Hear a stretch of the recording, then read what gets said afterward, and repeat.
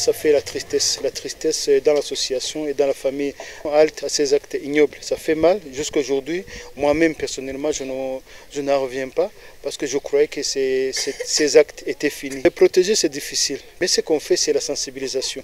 Nous, on va essayer, on, on, a commencé à demander partout de recommencer les sensibilisations de la population jusqu'à la base, jusqu'à euh, la colline, parce que c'est là où ça commence la, doit commencer la sécurité de toute personne et surtout euh, celle des personnes atteintes d'albinisme. Nous demandons alors euh, au pays de mettre des lois qui punissent ces gens-là et de punir sévèrement quiconque aura euh, attrapé avec au moins un cadavre d'un albinos ou bien un corps de l'albinos. Et ce qu'on demande aussi à la nation, au président de la République, une deuil nationale. Le deuil national, pour moi, ça va donner une image correcte en disant non à la violence faite aux personnes atteintes d'albinisme.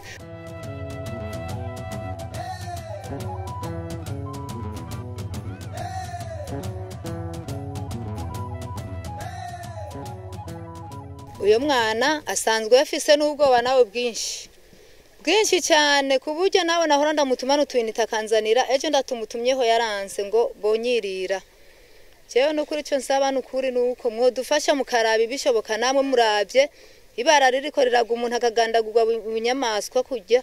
Nukuri mukaraba namwe mwiyumviriye kiremwa muntu umuntu yaremwe n'imana afise ubuzima bukwiye mworaba namwe icyo mwodufasha twe twasaba nukuri gukingirwa kana k'agakobwa ndiko ndaraba mu karere gasigaye k'ubwo rugo tugiye kuyitanga dukoreshe komite z'umutekano kugira ngo aho kana gakingigwe twonge tuganire n'abavyeyi babo nabo nyene bafashe mu kumukingira bamwame hafi.